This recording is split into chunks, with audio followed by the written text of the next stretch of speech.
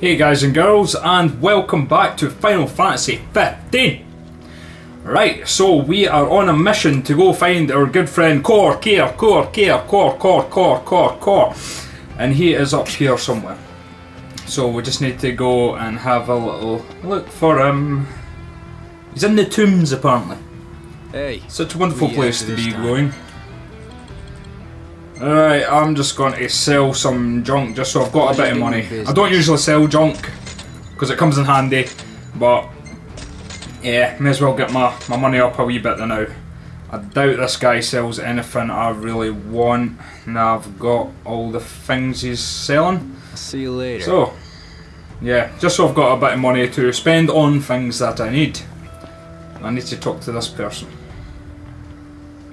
Your Highness, I'm glad you're safe. Monica, where are all the others? Most of the Crownsguard didn't make it. It was all we could do to escort Lady Iris out of the city. Dustin is with her as we speak, seeing her the rest of the way to Lestallum. I owe you guys big time.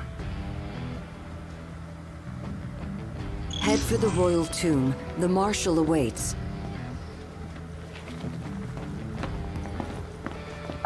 Okay, so we got another magic flask there. scene Displayed in memoriam, with no remains to mourn, throngs have gathered in Altishan. Right, so they were talking about Iris there, and that is Gladiolus. Or Gladio as I just call him for short. And Gladio's sister. Which we will meet up with her a bit later in one of the main towns in the game. First the Crown City, then Hammerhead, then the Royal Tomb? His nickname should have been Cor the Restless. Somehow not as catchy as Cor the Immortal. Making it out of Insomnia only adds to his legend. Well, fortune favors the bold. Well, huh?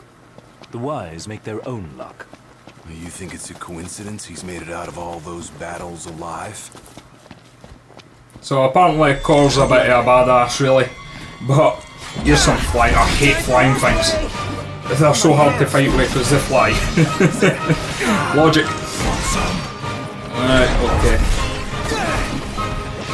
Come here. Come here. Come here. Any plan of attack? Can only fly for so long. Come here. I'll around. There we go.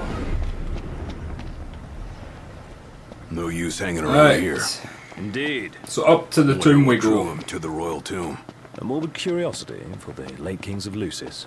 Only one way to find out. Alright, so the tomb is just through here. There's some more flying things. Wait till I'm doing my acrobatics up in the air to try and kill these wee stupid things.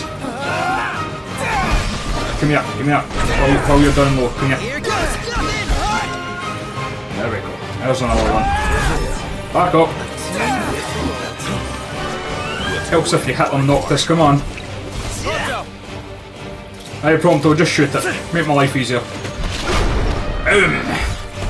Follow up. Boom! Really? You're mine! Come here. Gla- Gladio's like, You're mine! Swings at Finia. oh, bro. Okay, well, that's that dealt with. Bring on the next one. No, just leave the flying things out of the question, please. Right, so there will be a little cutscene in this tomb, so I shall disappear just for a little while. See you all in two seconds.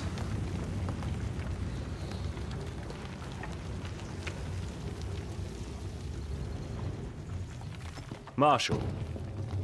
At last, Your Highness. Yeah. Wanna tell me what I'm here for? The power of kings passed from the old to the new through the bonding of souls. One such soul lies before you. To claim your forebear's power is your birthright and duty as king. My duty as king of what? Now is not the time to question your calling. A king is sworn to protect his people. And yet he chose to protect only one prince. Was that his calling? Forsake the masses to spare his own son? How long will you remain the protected? The king entrusted the role of protector to you. entrusted it to me. Then why didn't he tell me that? Why did he stand there smiling as I left? Why? Why did he lie to me?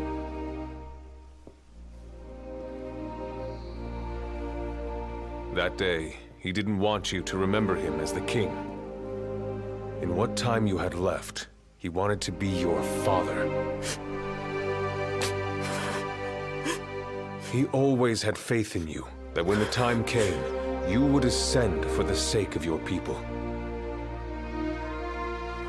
Guess he left me no choice.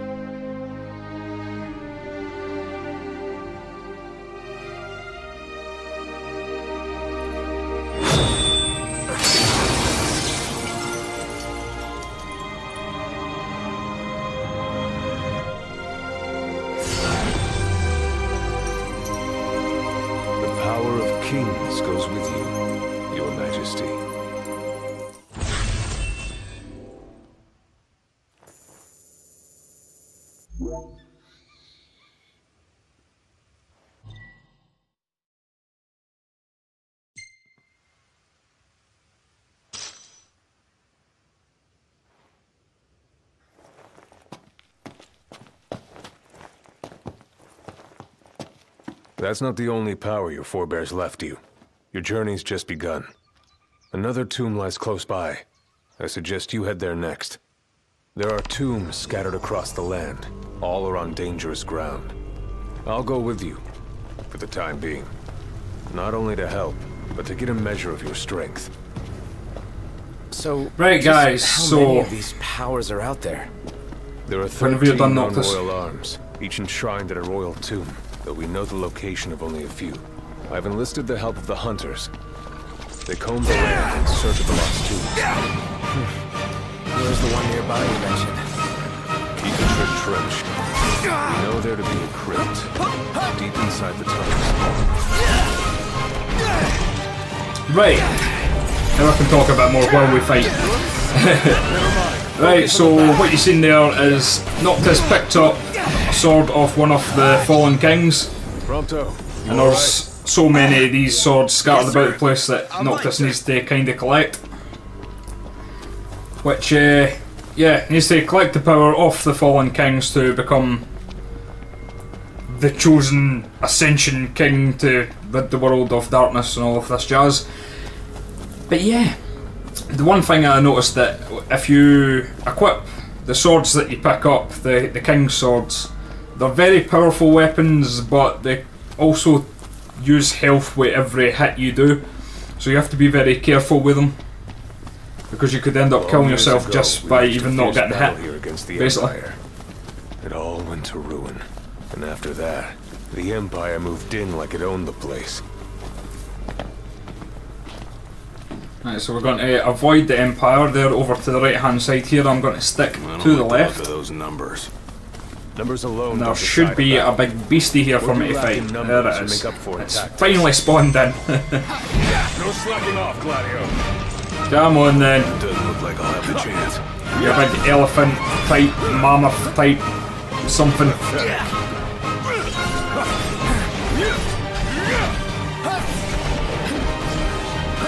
I do like that large sword, but That bad, huh? because of its speed, it's hard to use because you end up getting hit before you even land an attack because it's so slow to swing it. You're up. But I am currently working on getting my Ultima Blade, so in the next video or so I should have the Ultimate Blade in my arsenal. Which will make my life a little bit easier. but to be fair though, this thing is a higher level than If anything happens to it should be. It's up Uh, to th- you. Not that it should be. Nothing's gonna happen Higher as long as level I'm that, than I should be fighting, should I say. That's it. What's up, Iggy? I've come up with a new recipe. Up with a new recipe. Up with a new recipe. Recipe. Can't wait to try it. That's it. He said it. He said it. I've been waiting on saying that. oh, I'm so happy. Oh, I've been so looking forward to that sentence getting said. Don't ask why. I just like it.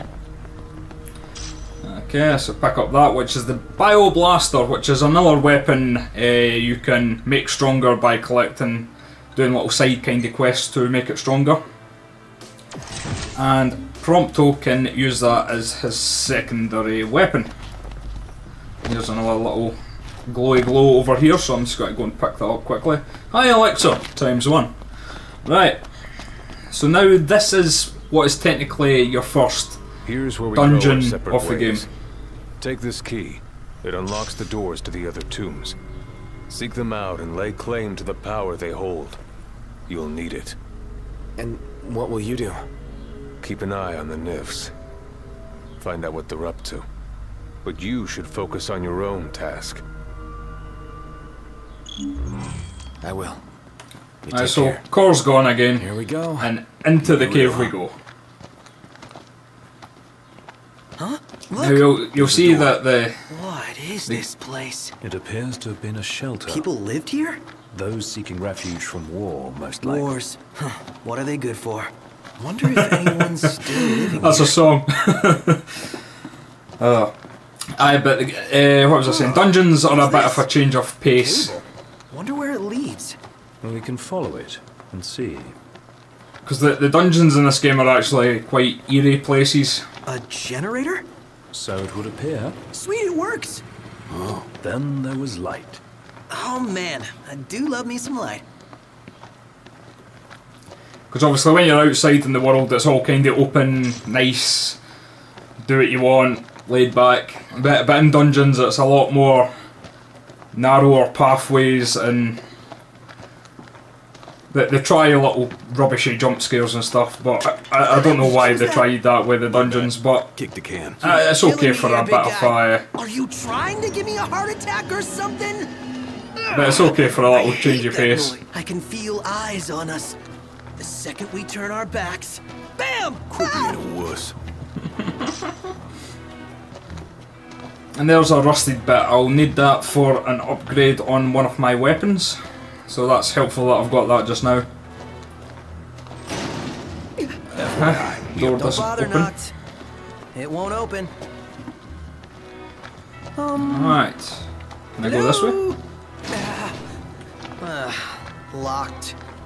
Total Hey, shocker. something's worth locking up. It's worth seeking out. Ever wonder if people like Okay. died here? Can I go in this and way? their tormented souls just sorta remained behind? Hmm, nope. Maybe This is it. I don't know. Whatever it is, it's playing with us. You know what I mean? They, they try and give you a little frights and stuff like knocking on doors and stuff. Wait, What? need to brace for this. no, you don't. Bummer. Go on. It's locked. Oh, it's locked. Would you like that? Uh, oh, Then you go back the way and then the door's matter. magically Got open. worked up. It came from there. Here is some magic. So I'll pick that up while I'm here.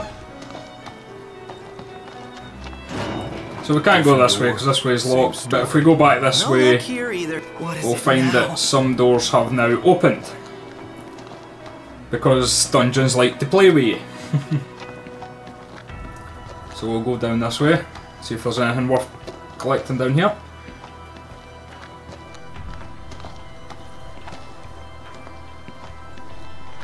above us. Look out! Ah! So we're causing rock slides while we're in here. Or something's causing rock slides. Because there's obviously a creature or something down here playing with us by knocking on doors and opening and closing doors behind us and all the rest of it.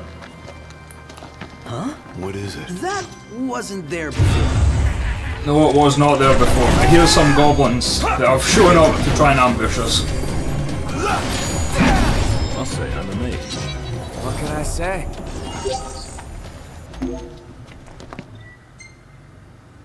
Alright, so let's have a little look at our map. Alright, so Onward. That door at the far end shouldn't be open. I'll just double check just in case they've opened it now. But I don't think so. Nah, okay. So we need to... What way do we need to go? Not that one. Oh. This door. This one that just flung open as soon as we got Place to to it. if I've ever seen one. Oh, totally. Oh, here's electricity power. Or thunder. Never knew why they called it thunder. If anything, it should have been lightning because thunder, thunder isn't a thing. Thunder's a noise. Lightning is the actual thing. But in Final Fantasy, it's always been called thunder. So is that a spell of noise? Even though lightning comes out, so they should have called it lightning. I'm just going to throw that out there. It's safe, right? No. Ah, probably not, but let's go anyway. We have no fear. We are the bromance of the century. We are going in here. Hey, didn't we already? There we go. Here's some more goblins. Daggers in the dark. Playing with us. Goblins are very um, playful enemies. They like to trick you, basically. And if they do manage to hit you, they steal items from you as well. So just be wary of that, because you will lose items to them if they manage to steal from you. Okay, so this door leads us back into this room that obviously we could couldn't get through that door that just opened before. So we've checked around that way. So the only way left to go is uh, left along here, not this first opening, but down this second one. First time through here, right? Looks it. So we'll go.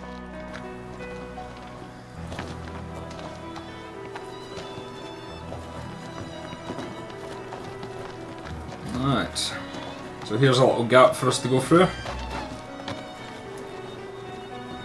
Wish they would fix the X button because when you get close to something it says X, sometimes you just jump in place rather than actually interacting with the thing you're meant to be interacting with. It can get annoying when you're picking up items and that and you just keep jumping on the spot like instead of actually picking it up. Alright, let's go this way. And explore this place a little more. There's an item here. Laser sensor times one. Nice. Does this open? Of course it doesn't. either. Why would it? Why would it open? Come on, man. Don't lose your cool. Says the panicky one. So as you can see, the dungeons are quite uh, a different pace. Elixir times one. Look where you're they're, Didn't. they're mean to a different that. kind of pace because they try and kind of give you little frights and make it in close spaces and making you have to look about the place. But I find them quite fun actually. They're quite enjoyable. Now there is a room back here but as far as I can tell, it has no purpose because there is nothing in it. Like nothing. You can't interact with anything, and there's absolutely nothing in it. So it's a strangely placed room. So if you know why that room was there, let me know in the comments, please, because it kind of annoys me knowing that room's there and it's not got anything at all in it. Auto crossbow. There's another weapon we can upgrade via mini quests. Alright, so this just is a dead end, I'm sure. Alright, this is a dead end, so that was a high elixir times one. I like reading them out. so in here, I believe, is a kind of mini boss for the dungeon. Which should be the Arachne. Yeah. There it is. Doesn't look too good. Which is just a big giant spider. So I'm trying to use my smaller sword because we're being frozen in time. There we go. Aye, because if I use the big sword in here, as you'll see, I'll, I'll try and use it now. It is quite difficult to use in smaller spaces because if the sword hits against a wall, then the attack stops. So where you're fighting does matter, so you have to use smaller weapons in confined spaces really. I've been stopped again, come on. There we go, right. Back we go. And that's that. And that is that done. It's over. None the worse for wear. There we go. So we'll just have a wee explore of this place. This is the door we couldn't get in from that last corridor. Uh, we have an item over here. At the debased coin, which if you put on a spell, uh, uh,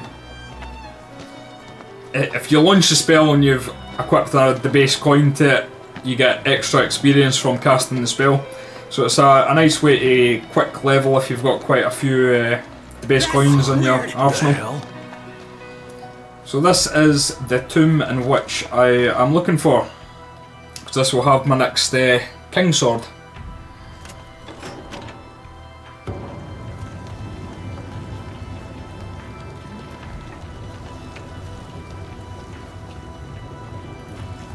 This one's more an axe type weapon. The last one was a sword, sword of the wise. This one is can't remember its name, but it's more like an axe type weapon.